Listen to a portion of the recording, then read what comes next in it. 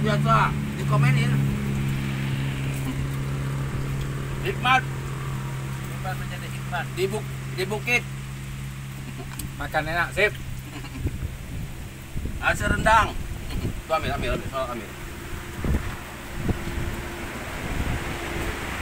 Allah beri nikmat.